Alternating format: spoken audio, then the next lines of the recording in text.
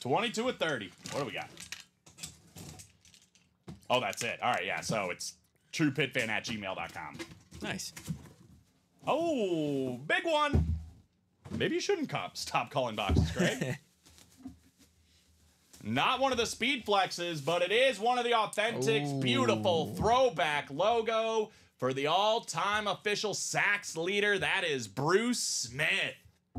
Bang, bang. Over 200 sacks for Bruce Smith in his career.